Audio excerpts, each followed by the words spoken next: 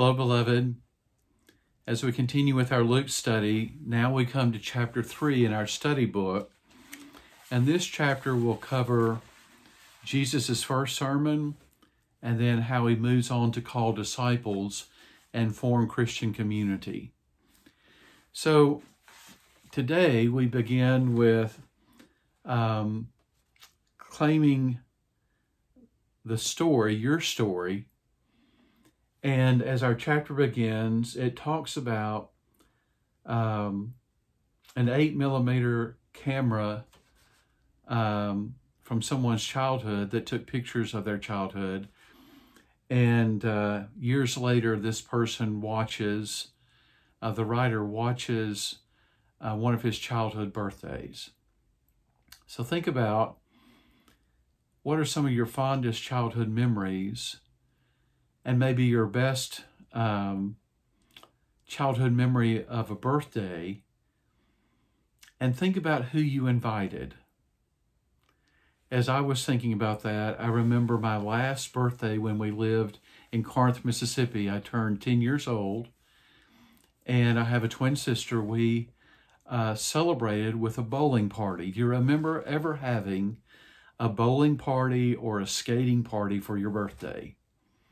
We have pictures of that. And so I in my mind's eye I can see who attended and obviously they responded to an invitation. And we were surrounded by a, a circle of friends. And so that's a good memory. And so as a way of kind of connecting to that, think about how your life has been formed by the invitations you have received and you have responded to. The invitations that we receive and the invitations that we respond to direct us toward relationships that we form as my children were growing up, I've told you this, I told them, be careful about the friends that you choose because you will become the friends that you choose. You will be influenced by that group. We are influenced by the relationships we choose to invest our lives in. And the same is true of community. And so, as we get more deeply into this chapter next week, hopefully, uh, if nothing else comes up, I anticipate our meeting in person next week on the first Wednesday of February. And we'll look at Luke chapter 5, the calling of the disciples into Christian community to follow Christ, to learn from Him, and to form that community. And so today we're looking at chapter 4 in Luke.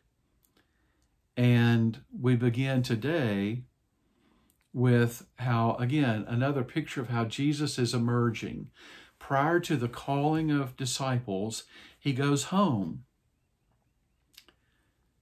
From his early travels, he goes home to Nazareth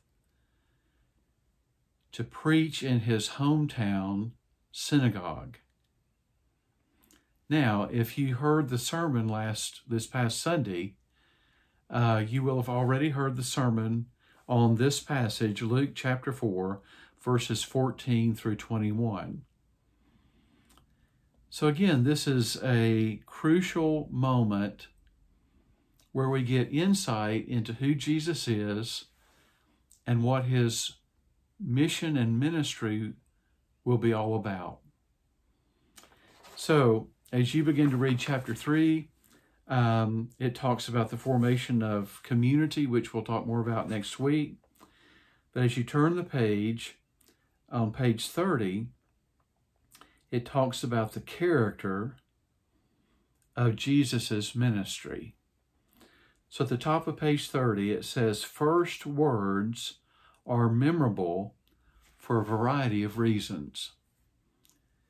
So, what we find in Luke chapter 4, beginning at verse 14, is Jesus entering his hometown synagogue And see, we have a perspective, we have a camera angle that we already know the significance of Jesus and who he is. But these are the hometown folks that he grew up with. I remember preaching my first sermons around Jackson, Tennessee, and it was an odd feeling for both me and those who knew me growing up because they see you in a certain way growing up, and now you're standing at a pulpit proclaiming. And so it's an odd experience. It's hard to go from just being ordinary, an ordinary person, to being a spokesperson for God. And so, even for Jesus, we get insight into this um, beginning to go public with his preaching and teaching about the kingdom of God and his identity as the Messiah. And so, as our study says, again on page 30, first words are memorable for a variety of reasons. And the next paragraph says Luke has provided words spoken by Jesus before he speaks before he speaks at his hometown synagogue in Nazareth. And this is the beginning of his public ministry. The passage found and read by Jesus serves as his inaugural, which was the theme I used in the sermon that you hopefully have heard from last Sunday, the inaugural for his ministry and his words point to the character of his ministry that is about to unfold. So let's talk about what those words reveal. First, again, you have a spirit driven um, narrative. Um, in Luke chapter 4, as we said at the beginning, Luke returns from the Jordan River full of the Spirit, the Holy Spirit, and is led by the Spirit into the wilderness. So now, the next story, look at the linkage, look at the wording, look at how it's described. So as we get to chapter 4, verse 14, it says, Notice, Jesus returned in the power of the Spirit to Galilee. So that's very significant. He has been empowered by his wilderness experience. That's very significant.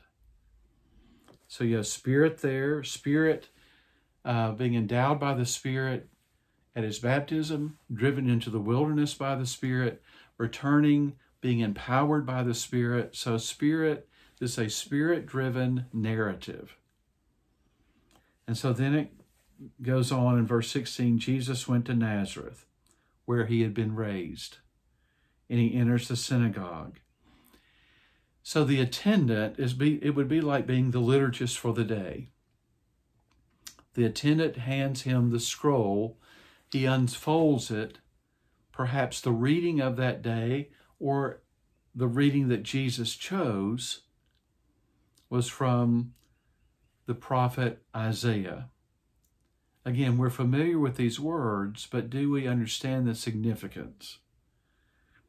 Notice the linkage.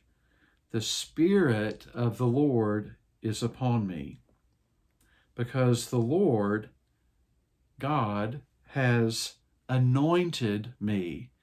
The meaning of Messiah is the anointed one. The Lord has anointed me. Why? Why have I been chosen? Why have I been empowered by the Spirit? to speak, to proclaim. He sent me to proclaim good news to whom? The poor, to proclaim release to the prisoners, recovery of sight to the blind, to liberate the oppressed, and to proclaim the year of the Lord's favor. I mentioned in the sermon, if you heard it, the year of Jubilee. Let me go a little more deeply into that in this teaching session because it's so significant. Your assignment is to go read Leviticus chapter 25. Leviticus chapter 25. In the early portion of Leviticus 25, you will find the details of the Jubilee year. I'm fascinated by this. In the life of the people of Israel as the people of God, there were cycles of time, just like we have the seasons, our liturgical seasons that tell the story of Jesus, the story of God. That's based on the Jewish tradition of having seasons that tell the story of what it means to experience the God of Israel. So each week has a cycle that begins with uh, and ends with the observance of the Sabbath. At sunset, which we we we practice our calendar and our patterns of life with sunrise as the beginning of a day for us. Uh, in Jewish culture, sundown begins the new day. So on Friday evenings at sundown, that begins the Sabbath. And that weekly Sabbath observance is the pattern of your life for rest, renewal, to celebrate the goodness of God, to be in community around the table. So that's the weekly pattern of Sabbath. There were also festivals, primary festivals, that told the story of God's presence and power and grace and deliverance. So the, that pattern of ritual of um, primary festivals tells the story. So, in the midst of all of that, there was a pattern of every seventh year. The seventh day is the Sabbath. Every seventh year was the Sabbath year. And there was like a reordering of life, a starting again, uh, beginning again. So in the Sabbath year, there was renewal.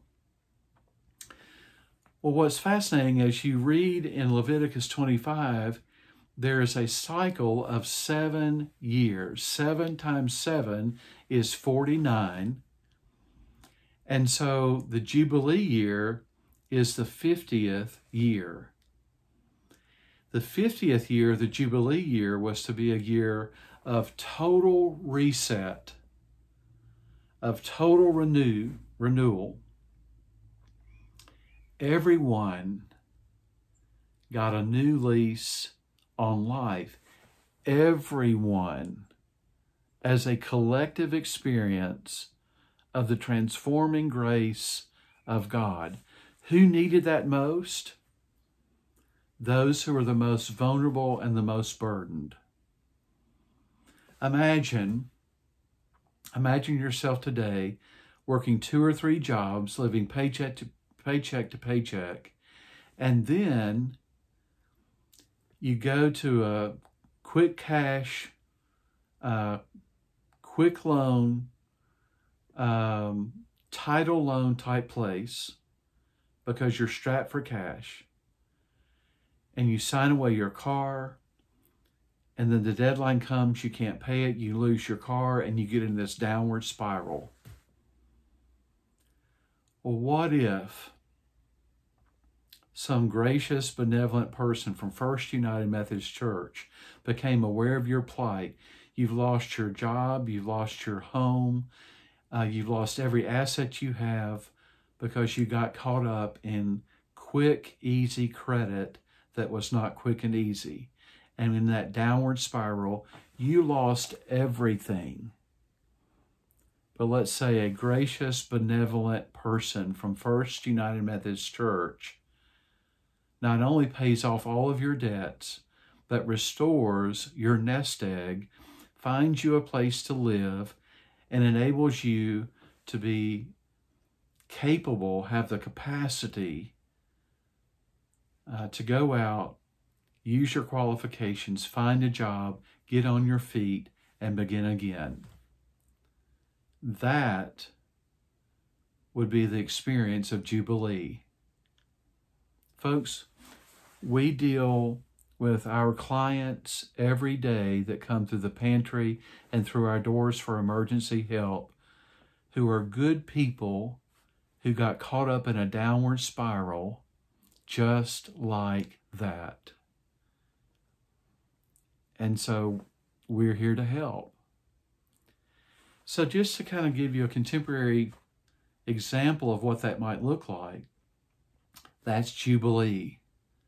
That's a new beginning.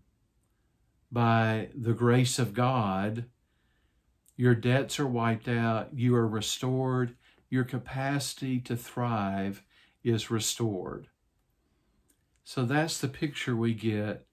And Jesus says, On this day, as you hear this, as I'm proclaiming this, which they were familiar with, the Jubilee year, it was never fully implemented because it was too radical. Bankers and loan owners, they didn't want to return their property to former loan owner, uh, landowners who'd had, you know, you're the landowner now because you confiscated their land because they were in debt to you. That's not good business. So it was never fully implemented, but Jesus says, today, this scripture has been fulfilled just as you heard it. You see, there was a messianic expectation that when the Messiah comes, then he'll implement the Jubilee year. Someday, someday, pie in the sky, someday, everything will be made right. Everyone will be equal. Everybody will get a fresh start, but we'll wait on the Messiah to do that. That's what's going on in the passage. So Jesus says to his hometown folks, Today's the day. And this is what I'm all about. This is my God given identity. I have been anointed to anoint. You remember? Um, Brad Grand shared with me that insight that the word for anoint, meaning using olive oil, which was used to refresh you in the harshness of that environment, to freshen up and be anointed, also was the phrase and the word that was used for mercy. So the job of the anointed one is to bring incredible mercy which is grace, God's transforming loving kindness. So that's the mission of Jesus. That's the kingdom of God is among you. When agape rules, mercy is in charge. I'm going to say that again. When agape rules, mercy is in charge and anointed ones anoint with healing and refreshing balm to help people begin again. That was the mission and ministry of Jesus. And so, what's our mission and ministry? Do we align with that? That's the question. Do we align with that kingdom vision, that Jubilee vision of Jesus, what I call the Jesus agenda? Do we align? So let's think as we live the story, can that be what discipleship is all about? Now, think about this. If we are following the anointed one who anoints with healing balm, Shouldn't that be what discipleship is all about? I think so. So may the Anointed One call and anoint us to be the healing balm for a broken and hurting world. Where through us, through sharing the story of grace and the extravagant grace of God, people find a way to begin again to be restored, to be whole, and to share that goodness of God with others in ever widening circles. because grace and mercy are contagious. Isn't that what discipleship should mean? The abundance of God's grace, shared, and that restores, a healing balm.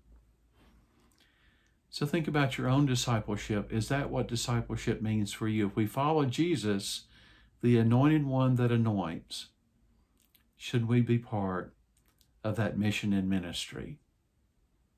Will you think about that and pray about it? Well, let's pray now. God, thank you for your anointing grace that is a healing balm. We thank you for how we've received it. Now, help us to pass it along freely and contagiously. Help us to share it in ever widening circles, to glorify your true nature, your true name, the power of agape extravagant love. For it's in the name of Christ we pray. Amen. All right, folks, I will continue to tape these uh, sessions in our study. But next Wednesday, I look forward to seeing you in Jeff Wall Hall at 6 p.m. And we will be glad to see each other and study together as we continue in the Gospel of Luke. So for next week, the first Wednesday of February, we'll be reading Luke chapter 5. So bless you. I'll see you soon.